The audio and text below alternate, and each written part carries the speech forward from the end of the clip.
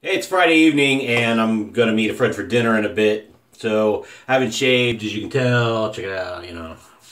So uh, I want to grab a shave. Uh, just got a chill out evening, and I'm gonna try a couple products I got in. I showed it on the mail call. We got Mike's Natural Soap Barbershop and uh, Barrister Mann Reserve Classic Aftershave. Gonna use the been soaking here. Poisson 24 mil from RazoRock plus soft, sorry. Uh, trusty Merkur 34 uh, C with, um, it's got a Perma Sharp in there. Yeah, I think this will be the third shave on this one. I had two of them out. The other one, I think I misspoke on previous video. I think that was a shave I actually had like four on. So, let me get there. Get off the soap, I guess. But anyway, uh, this is the newer one that I thought I'd use, so we're going to go with this. Put them back in the water here, and I'm going to pull a TSE, um, pause, wet the face, I'll be right back.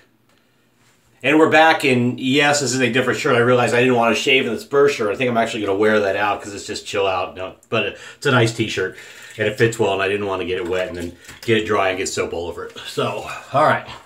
So I've had the puck blooming here for a little of the bloom waters. It's a pretty firm soap, so I wanted to just loosen it up. Standard bloom option.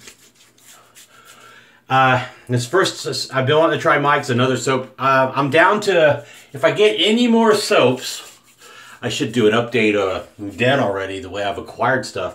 If I do any more soaps, if I purchase any more, it will be because I want to try the brand.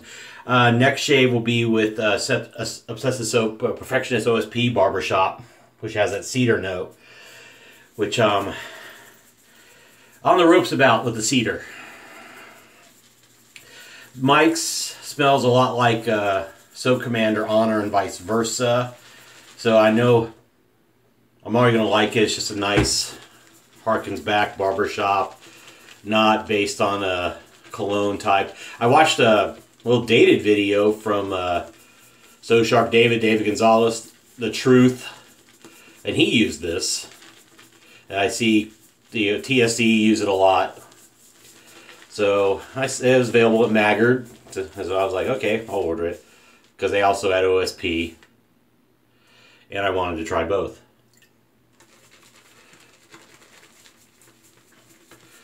then they had the Bear Man and some other stuff, so. Would have ordered it through the club, but it was out of stock. At least the Bear Man.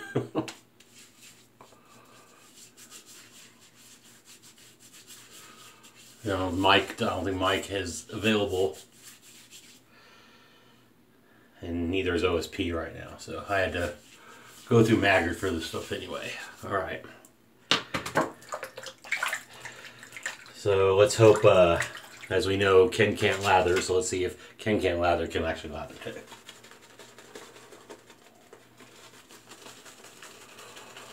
I considered getting the Hungarian lavender, but I went with the lather line from Barrister and Mann for the lavender.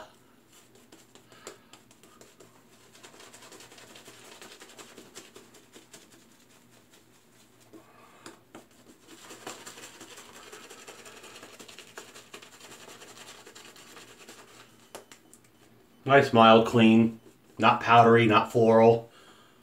Uh,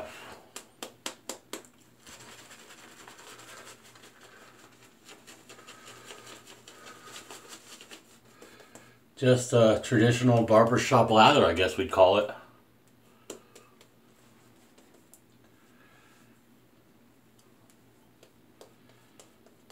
A real nice lather. All right. I'm happy with that. All right. So.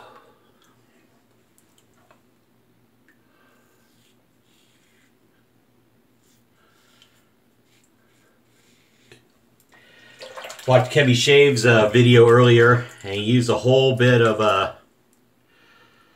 Boots Chemist stuff. So it's like a, a nice basic shave, and it was really great. Uh, posed a question about recommending um, to a new wet shaver, what products would you go with? And we were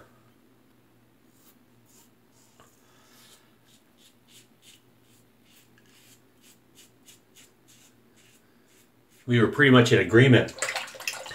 A 34C, um, a RazoRock, uh, a soft brush, and he went with Proraso Red because that's his favorite Proraso. I said I would have gone green or white. or even blue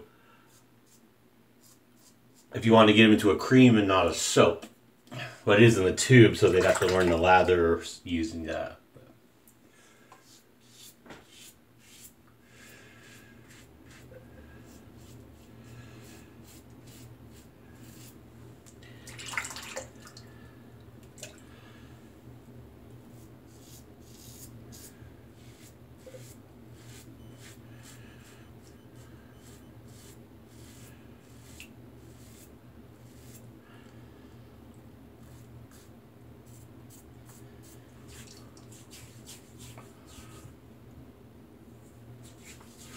I got not quite two days growth. I'm I'm taking down here, so.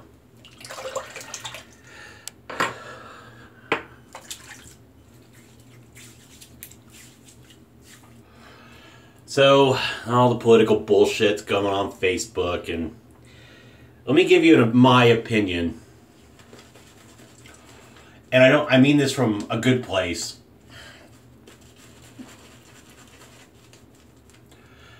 I think individually we're all great. You know, pretty much, unless you're a completely sick, evil, you know, person. But when it comes to the liberal philosophies, not the execution, the philosophies, generally they mean well. You know, on equality issues, things of that nature. The problem is how they execute it. They can't explain their policy. They can't articulate it to make anyone want to go along. All they do is yell and scream and tell everyone they're wrong, and um, and you just need to vote this way, and then we'll figure it out. Well, no. You want me to vote for you? Articulate your policy. How are you going to do it to where you're not also going to take away from a bunch of others who have needs of their own, or you know, cause harm. You're supposed to do no harm while trying to raise everyone up. So if you can't explain how you're going to do it and then you want to do it by any means necessary, you don't have my vote, while I may agree with the general principle of the philosophy. Conservatives, on the other hand, this is why they're wrong. Because they think conservatives should be this philosophy that, like, no, you, you can't have abortion and all that. But the thing is, I look at conservatism a different way. We're so far down the rabbit hole in terms of what's become available and protected and legal in this country, whether by the Constitution or by court precedent, that if you want to be a conservative, that's a personal choice, just like being a liberal is a personal choice.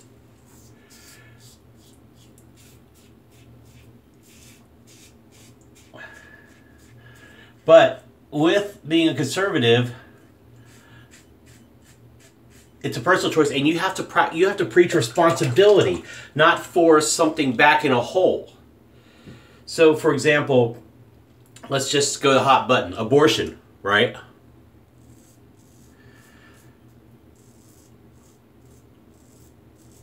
It's not in the Constitution, but by legal precedent of Roe versus Wade, it's legal.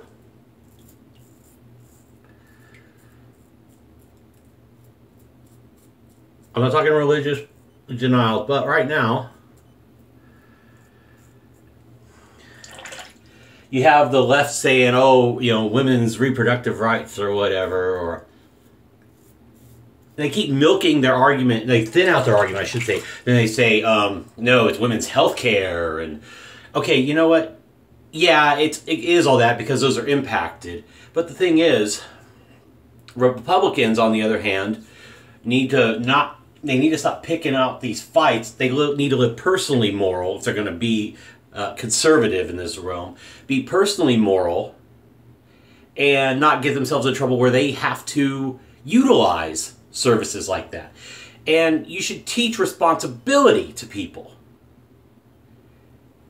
liberal, conservative, progressive, whatever you want to call yourself on the political spectrum. Be personally responsible.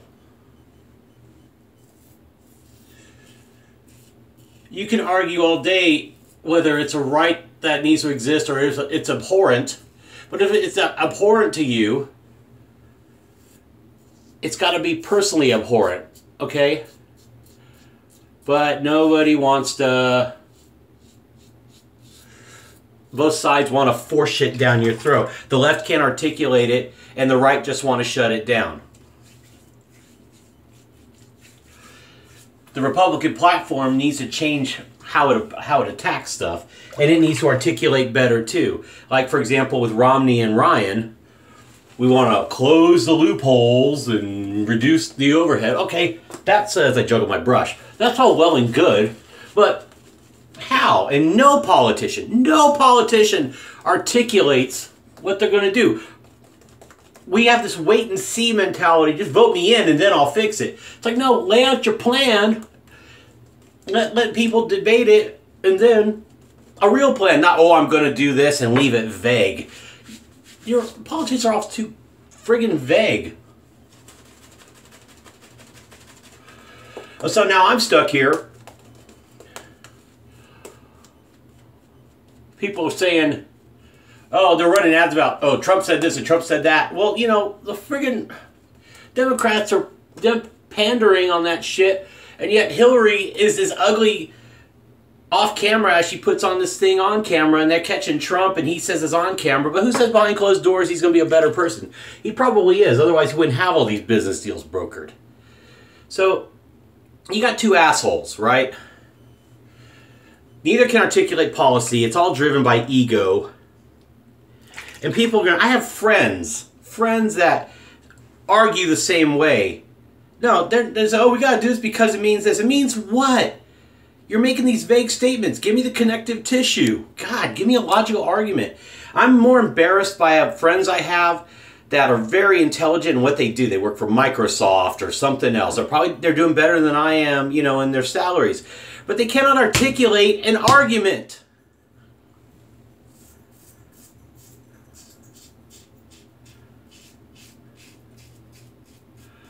And if you can't do that, I'm going to laugh at you. You got people posting posting stuff that they haven't researched and turns out it's false on both candidates.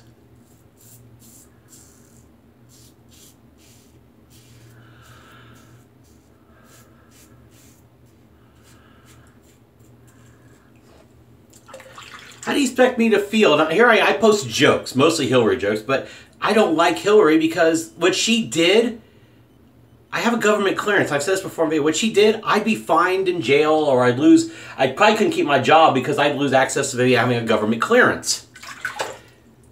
Oh yeah, but oh no, she did, she was just careless. Well, fuck, if I did the same thing, send it home or put it on Gmail or something,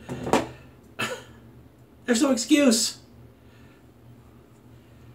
But no, she gets away with it, and, and all my friends are all happy with that. And I told her flat out, I can't support her because of this. Thing. And one of my friends' friends was his wife unfriended me on Facebook because I told her flat out I can't support her because I shared something about Donald Trump Jr. because it was it popped up on my page because someone else shared it, and it says exactly what I articulated. And I told her a chimp like me has to obey these rules, and I'd go to jail, but she gets away with it. I can't support that, whether I agree with the philosophy or not. And I get unfriended by this twat. She was a twat in high school.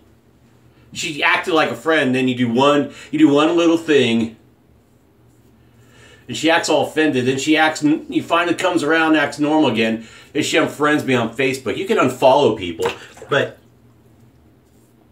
I feel bad for my best friend because he's coming out like a liberal prick by the stuff he shares. And again, it doesn't come across like an articulated argument. And I feel embarrassed because he's one of the smartest guys I know functionally.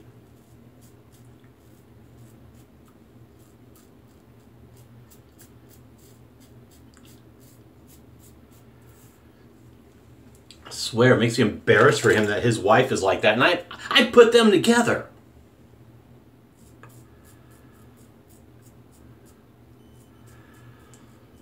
In high school.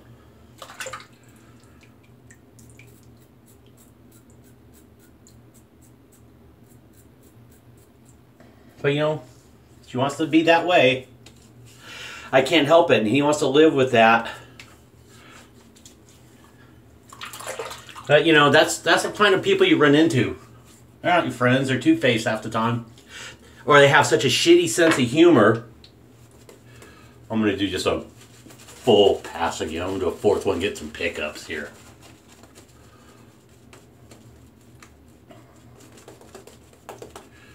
I mean, I'm embarrassed for them. I love them, but I'm embarrassed for them. Because I joke and I'm messaging him and he says, Oh, that's not something to really joke about. I say, Yes, it is. It is something to joke about because it's embarrassing to this country. And if I don't joke about it, I'm going to friggin' cry and lose my mind.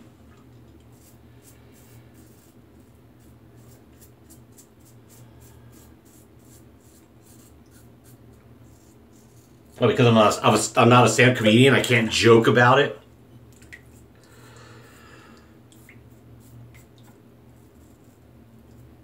especially when I know from where I speak in this case, people tell me, oh, it's not a big deal about that server, all, all these things are, folks. That, that's uh, compared to Trump saying, grab her, grab her in the pussy on a bus.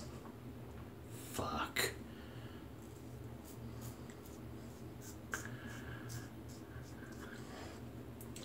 We're going to have an asshole either way, folks.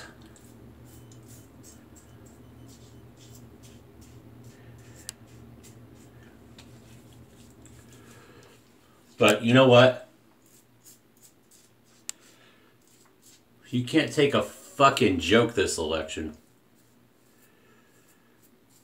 Of all times. Maybe you shouldn't be my friend. Because if any other election calls for fucking jokes, this is the one.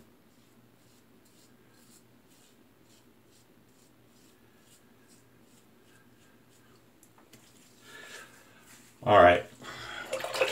Enough of that shit. I'm gonna rinse the brush, I'm gonna pause, rinse up, we'll come back for the uh, post shave. And we're back and rinsed. Hit the alum. Great thing about the Merkur 34C, minimal feedback when, I mean I did almost four, basically four passes. Grab my towel here, excuse me. So, Mike Soap, Mike, good job. you make a good product. I, I really like the soap. Very, very, very impressed. Now the Barrister and Mann. All right. I still think it's slightly more, I don't know, uh, towards the Aqua Velva than Old Spice.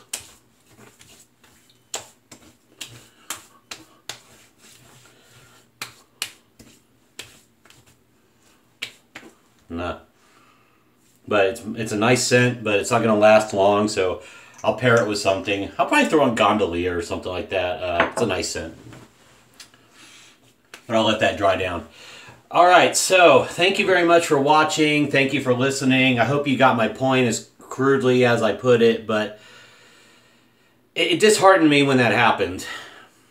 And